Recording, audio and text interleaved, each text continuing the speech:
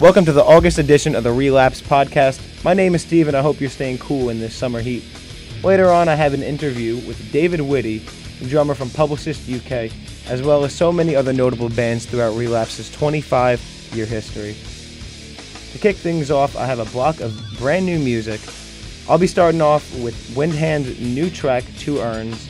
Their new album, Grief's Infernal Flowers, comes out September 18th. They'll be touring the states throughout the fall with Monolord and Danava. Zombi's new album, Shapeshift, was recently announced to be released October 16th, and according to the band, it is darker, heavier, and more dynamic than most recent works. Speaking of Zombie, Steve Moore is also putting out his original soundtrack to the movie Cub. Cub is a brutal horror movie from Belgium about a young Cub Scout bullied by his troop mates who then go out on a camping adventure and are stalked by a deranged poacher who sets his target on the kids. There's a lot of excitement coming from the Zombi guys, but up first, here's Pig Destroyer's Trojan Whore. You may be thinking to yourself, why is Pig Destroyer in a section with new music? Didn't Prowler in the Yard come out in the early 2000s? As a matter of fact, Scott Hull is actually going to be remixing the album. It's coming out in mid September, so early fall. So stay tuned for that. Right now, here's the remixed version of Trojan Horrors. Make sure to go to relapse.com for all pre orders and more.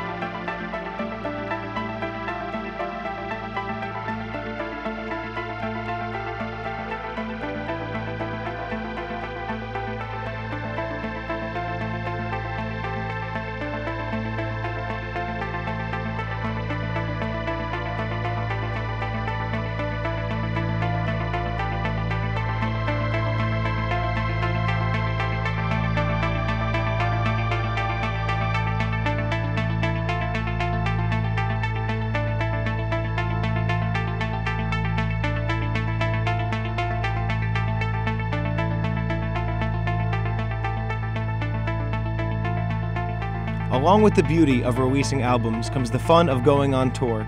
These next few bands you'll be hearing all released or will be releasing new albums this year and hitting the road for support. A little bit ago, I played New Windhand, but you know what? I'll play another new Windhand track. This is Crypt Keys. I'll be playing Ecstatic Vision as well, who will be touring the fall with Uncle Acid and Ruby the Hatchet. During last month's podcast, I talked about Toxic Holocaust going on tour this fall.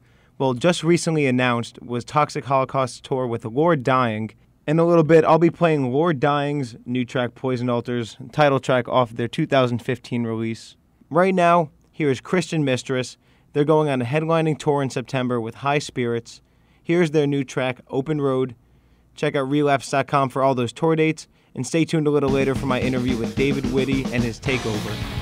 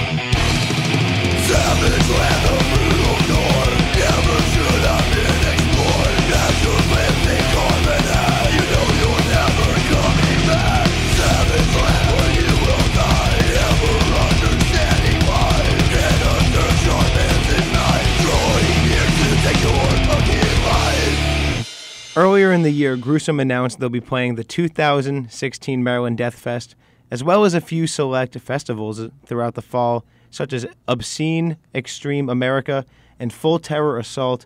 You seriously do not want to miss this chance. You may never get it again. Coming up right now is my interview with David Witte, and then afterwards we'll be playing some of his favorite relapse tracks, a few Publicist UK, and even taking a flashback through his long history with relapse, diving even further into the 25 year celebration of the label. So sit back and enjoy. This is Steve from the Relapse Podcast. I'm here today with David Witte, drummer from so many bands, but most recently Publicist UK. How are you doing today, man? I'm doing great. I just Enjoying wanna, a wonderful day, drinking some coffee. That's no better way to start the day. I just want to thank you for taking the time to be on the podcast with me today. Yeah, of course. I'm stoked. I'm a, a fellow New Jersey guy. Really? Where in New Jersey are you from? I was born in Red Bank, grew up on the coast. Uh, Hazlet, and then I lived in Seabright and Avon for a while before I moved down south. I'm right from Matawan. Oh, yeah, that's real close to me. It's very close. Oh, pretty much next town's over. Eli's Bagels, man. Born and raised. Those things are great. Your new project, Publicist UK, is putting out their debut album, Forgive Yourself, next month, August 21st. You want to give a little bit of insight into how that project came to life? Well, uh, it's it's a pretty exciting, challenging, and completely different project for me, as it sounds nothing like uh, anything else I've done before, and, and it's cool to be a part of something like that, to learn some new things. But uh, how it came about is uh, my buddy Brett, who lives in New Jersey. Uh, we play in a band together called the Glorious Gone, which is the Post Burnt by the Sun band. And he was down here listening to some demos that uh, Dave Opachowski, the main writer from uh, Publicist UK, had been working on, and he played it for me, and I was like, "Oh wow, these are cool, man. Uh, if you ever need a drummer, I'd, I'd be interested." And like, probably like 15 minutes later, I was in the band. So it was it's it was uh it was quick and it was like spontaneous, and yeah, I I really heard. I really liked what I heard, and I liked Zach's voice. That's what really stuck out to me the most. Even though Dave's a really great songwriter, Zach's voice kind of lured me in. So uh, yeah, that's pretty much how that went down, and uh, it's pretty exciting. I'm excited to see what happens. For someone who may not be familiar with the project, how would you describe the sound of it? Uh, it's definitely more rock based compared to anything else I've done, and uh, people are quick to uh, say it's like a heavy Joy Division. Uh, my mother said it. It sounds like David Bowie, so it's it's got a bunch of different references and in that type of uh, like dark wave type sound, I guess, if you want to call it. How would you say you brought your extreme background of drumming style to this, though? Uh, it's not really extreme. Besides hitting hard, you know, being a musician and loving music, uh, I've always been in multiple bands my whole life, and because I have, uh, you know, there's a lot in me that that won't necessarily work in a certain band. So I, I you know, I love playing drums and music so much that I feel like I need a bunch of different outlets, and just this is just another one where I get to concentrate on playing with space and uh, just playing regular beats, which was kind of a challenge for me because it's the first time I ever recorded with a click track on my own, and uh, that was kind of stressful. So I'm not really used to that. So it was a really good learning experience once. So you say it's definitely a way to uh, enhance your eclectic styles. Yeah, for sure. I mean, you could do the same thing over and over again, but it gets boring after a while, you know. Especially when you've been playing in so many bands for a while now. Yeah, it's cool. It's you know, I'm lucky and fortunate to have an opportunity to play uh, with with a bunch of great musicians from all backgrounds and all kinds of music. So I feel fortunate about it. Will you be touring with the band as well? Yeah, we'll do some touring. Uh, you know, most of us are in multiple bands, so the juggling, the juggling act will have to start up. You know we will go out and support the record for sure. Do you have any shows lined up in the near future? Yeah, we're doing our initial run. Uh, it kicks off August 20th through August 27th. It's a quick eight show run and goes out to Ohio and back. Half of it is with uh, the first four shows are with Young Widows, and the second four shows are with uh, Dalek, which I'm really excited about because I'm a huge fan, huge fan of both bands. And how would you try and get fans of yours that may be into the more extreme bands to come out and want to see Publicist UK? Uh, post the post the uh, show day and go, hey, come on out. Easy enough. Yeah, you know, uh, I mean, you know, if it's kind of hard because it, it doesn't really sound like anything else. I guess you have to have an open mind to, you know, to check it out. We're gonna play a couple tracks off the new Publicist UK album in a little bit, but I want to get into this is the 25th year anniversary for Relapse, and as you were saying a little bit before ago, you have a very long history with the label. You've been in a Yeah. lot of you've been in a lot of bands for Relapse. Yeah, I remember Matt and I remember meeting Matt and Bill when you know the record label was in their in their uh, when they lived at home with their parents and I was in the basement a long time ago. The first band you were in was Human Remains, which was based out of Hazlet. hmm And That's now, right. So coming from Human Remains to Publicist UK, how has you yourself grown, and how have you seen the label grown? Well, uh, I always loved Relapse for the diversity, and they were music fans and, and very open minded. They were into forward thinking music and you know creativity. They just didn't paint themselves into a corner with one genre, and I think that's what has made Relapse strive and be relevant today, and you know kind of pave the way for bands that want to do their own thing. Yeah, and I've grown from it too. You know, you know, just applying myself in different situations as the years go by. I'm the more music, you know, the more music you like, the more open-minded you are to different styles, the more uh, you know influences you have to draw from. And when you look back in Relapse's 25 years, there's you have everything from you have the Dillinger Escape Plan, Suffocation, and then Merzbow. So it's really all over the place. Yeah, and then uh, there's one of my favorite records is from the release, the sub-label of Relapse, and it's called Rapoon.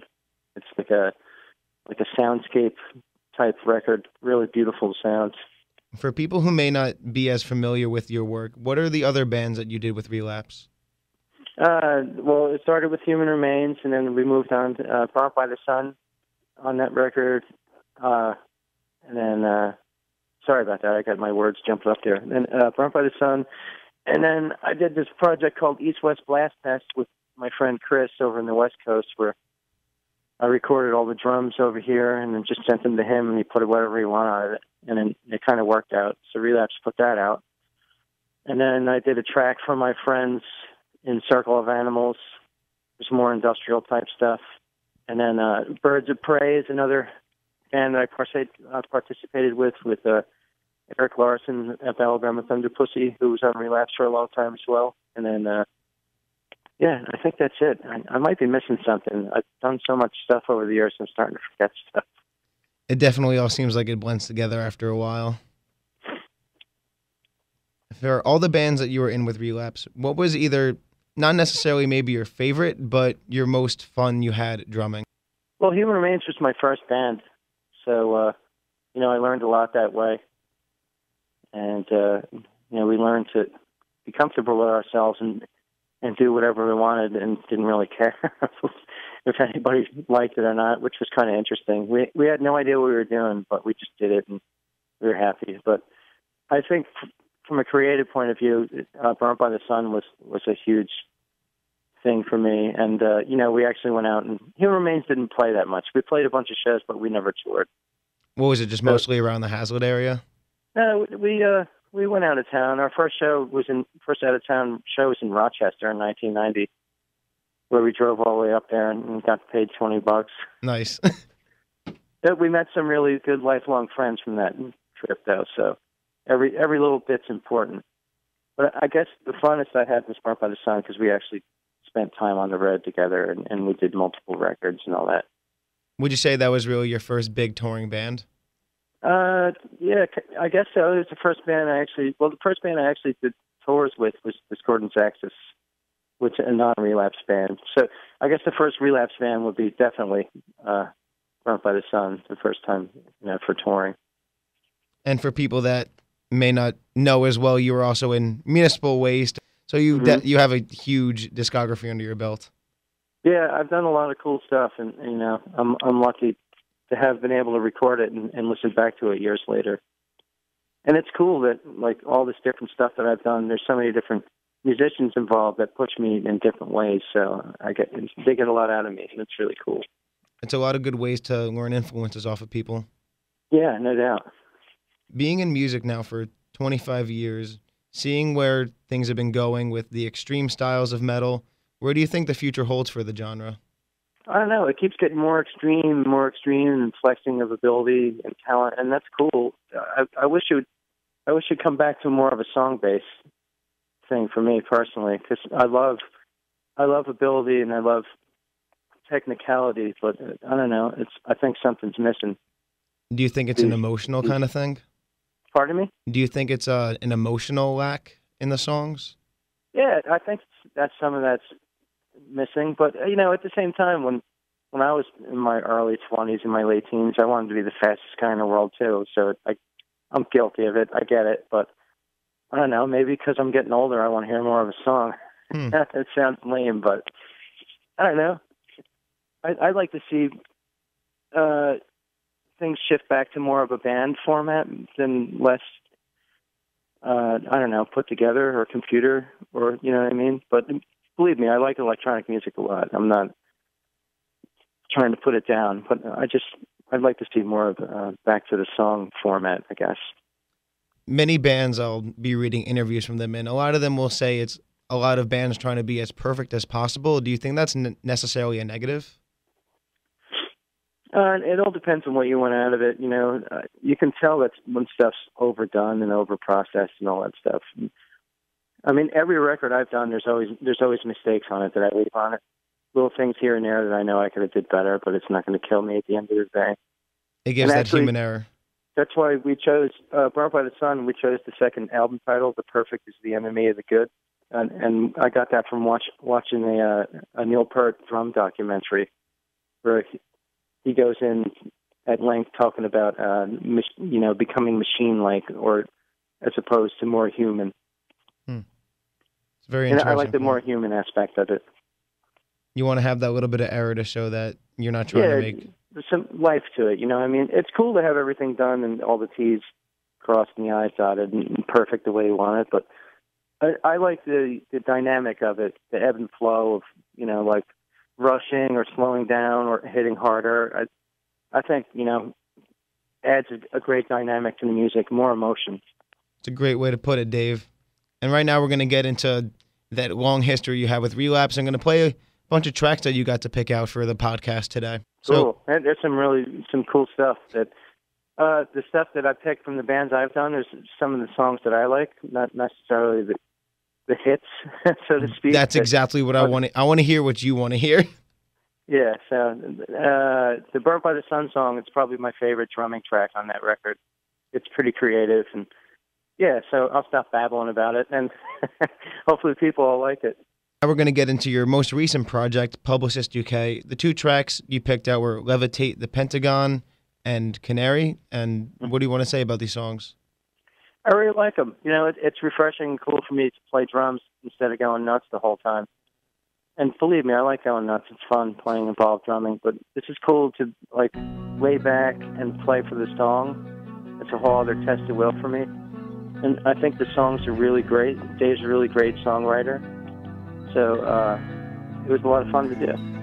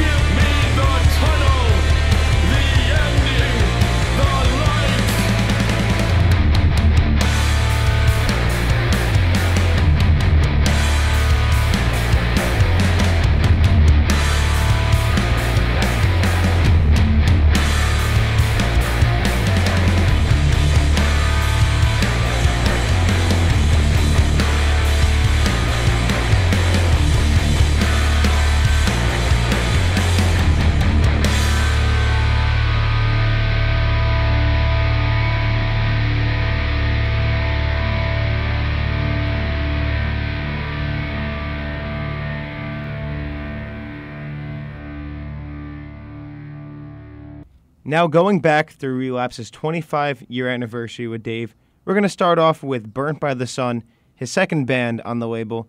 All three albums were put out through Relapse. This particular track is Rev 101. Yeah, that track is uh, probably my favorite drumming track on that record. And that record was pretty interesting for us because it was the first record we did with just one guitar. Uh, and uh, we wrote and recorded that whole record in three and a half weeks because uh, I remember when Gordon was at Relapse, he was he suggested that we you know put the pedal to the metal because uh, we didn't want to get lost in the shuffle. Because uh, if we had taken our time, this would have re- this record would have came out at the same time with a bunch of other records, and uh, no one really would have paid as much attention. So we cranked it out to to be able to get our own time on it. It sounds weird, but it actually worked. It's our most experimental record, and I, I like it a lot.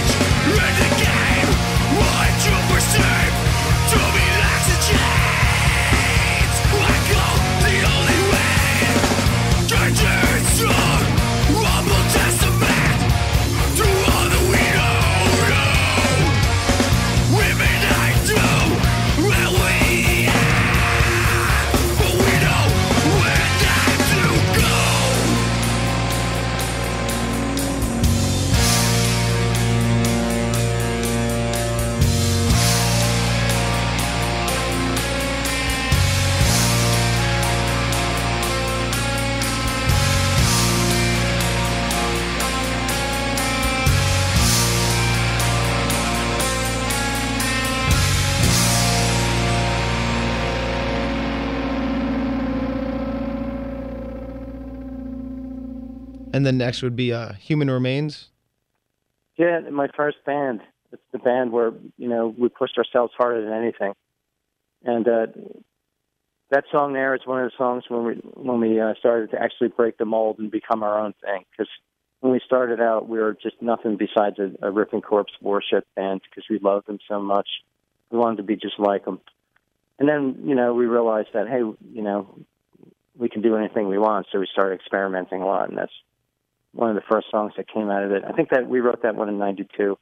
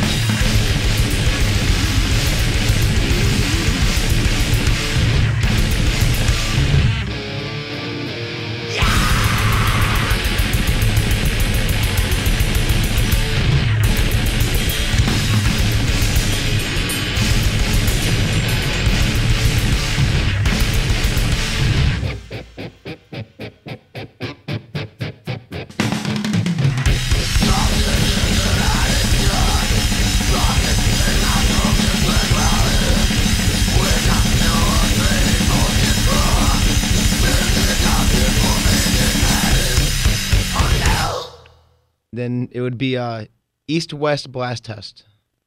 Yeah, uh, uh, that's the project I did with my friend Chris, where I recorded all the drums here and then mailed them to him, and then he just put whatever he wanted on top of it, and you know, it, it worked out.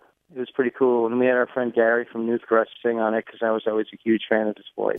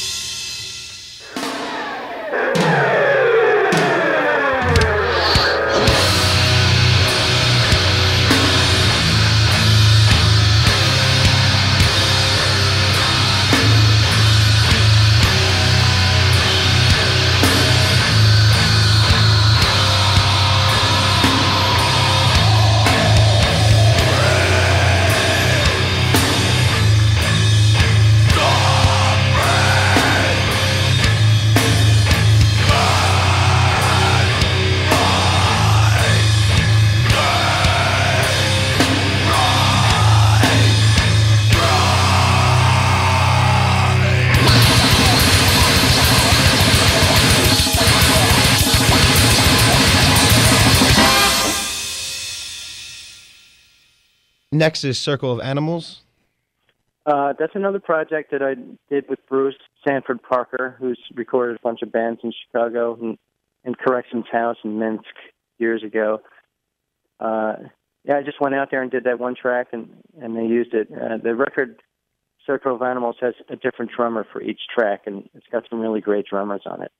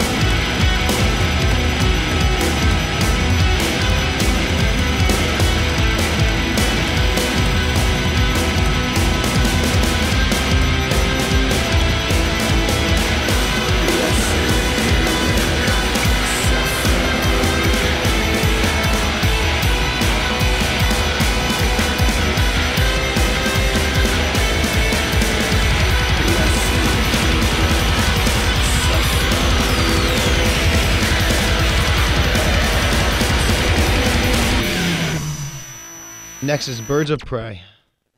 That's a project I did with Eric Larson, longtime uh, relapse resident with Alabama Thunder Pussy. Eric lives here in, in Richmond, and uh, he asked me to do that. So that's how that came about. That's a more rock based thing for me. That uh, yeah, that's just coming. That's not coming out too right. I guess it's, it's I guess it's uh, the first more rock based thing I I did at that time you know, Eric's background, Alabama Thunder Pussy, was more rock, so it just made more sense. He wanted to make it kind of like uh, like a nod to Entombed.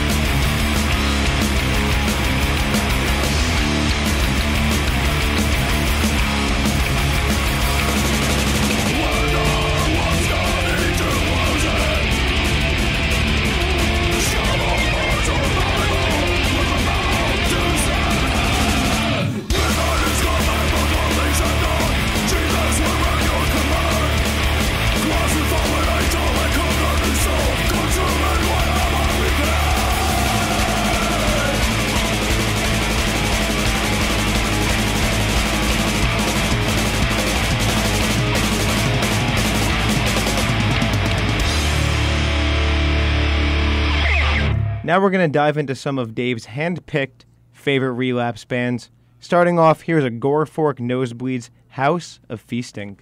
Yeah, when that record came out, actually, Scott hit me up, and uh, you know, I met him while I was doing Black Army Jacket, and uh, I actually got an electronic drum kit to play live with ANb years ago. We did one practice, and it was fun, but it never really worked out. But that was always my favorite song, and it was like super slow and crushingly heavy. And I think Scott's work with super slow stuff, really heavy stuff, is just as good as the fast stuff he does. And that song always stuck out to me.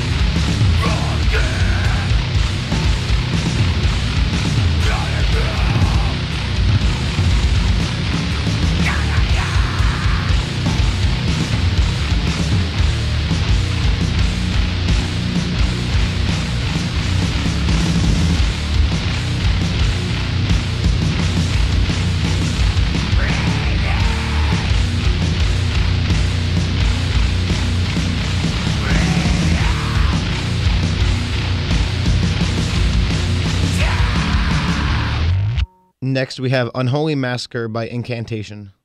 Yeah, uh, being from New Jersey, I always loved Incantation, and uh, whenever that record came out, it was super heavy, and uh, it's still great to this day when I go back and listen to it.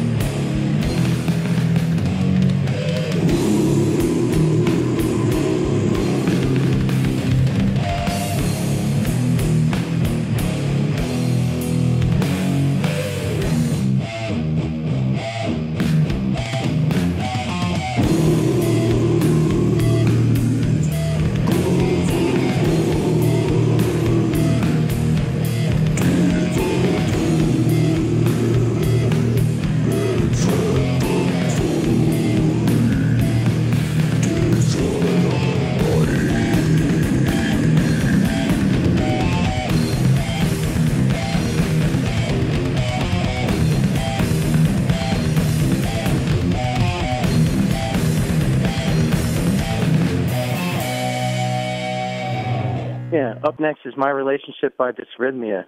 I love that band. They're so great. It's probably my favorite relapse band of all time. Uh, I was at their first show ever when they didn't have a name and they only had four and a half songs It's at Stalag 13 in Philly. And it was so amazing to watch them grow as musicians and songwriters over the years. And I think every record got better and better. But that's one of my favorite songs for sure.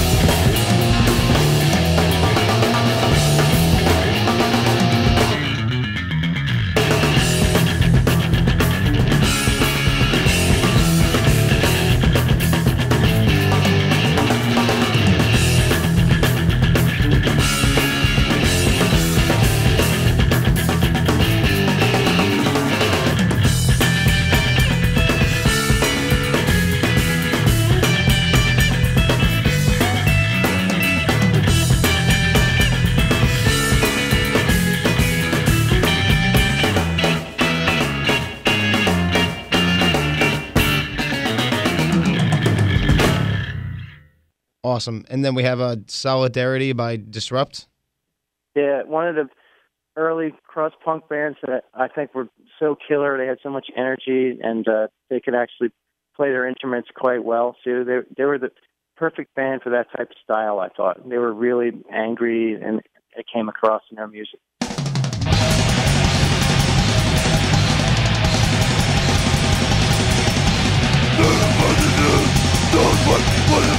Unbelievable. Ah, ah, ah.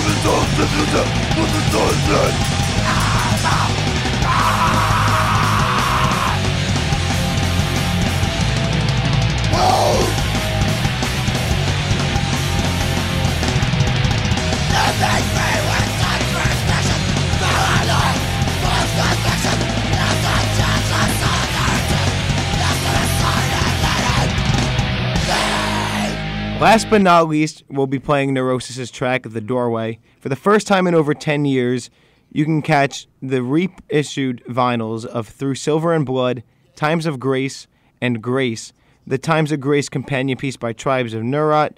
All three records will be pressed on 180 gram vinyl and housed in heavy duty tip on jackets. That comes out September 4th on Deluxe 2X LP. Yeah, I Souls at Zero was my first experience with them, and, and I liked everything that came out. I, I I love how that band evolved and did whatever they want. And you know, uh, when when that came out, I was so blown away on how heavy it was, and seeing it live on on this cycle they did for that record was quite an experience that I'll never forget. So yeah, that's that song's amazing.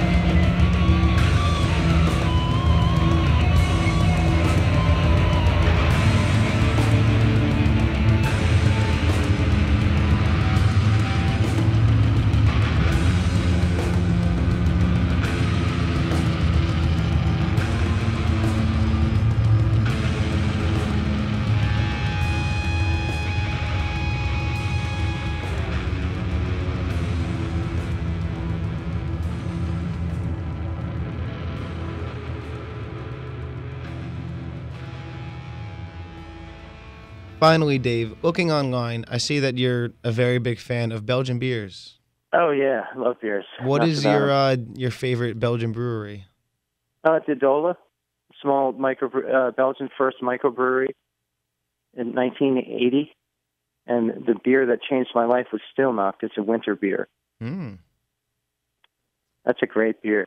Yeah, Belgian beers are, were my gateway into beer. I love beer quite a bit, and uh, you guys got some really good breweries up there now, Carton and Kane. I'm a big fan of the two. Yeah, uh, from Monmouth and Ocean County. Yeah, they're the best. There's there's people that have been making beer there for years, but these guys kind of like took it away and are running down the street with it, doing it better than anybody else. I think. Uh, thanks for the years of support and being, uh, you know, w- being willing to listen. Without everybody wanting to listen, you know, I wouldn't be able to do what I'm doing, and uh, I'm super fortunate for it. It's it's amazing to be able to have uh, play an instrument and, and you know play what you want and people care about it and come back. So it's great. I'm I'm a lucky dude. That was David Witte, the new drummer of Publicist UK. Their new album, Forgive Yourself, is out August 21st. So make sure to check it out. And if you've been following Relapse for a while, then you know all his great bands. That'll wrap up the August edition of the Relapse podcast. As always, it's been a blast. So make sure to tune in next month as we'll go over more new bands, dive deeper into Relapse's 25 year anniversary. Check out relapse.com for all those exclusive pre orders, tour dates, and so much more. I'm Steve, and goodbye.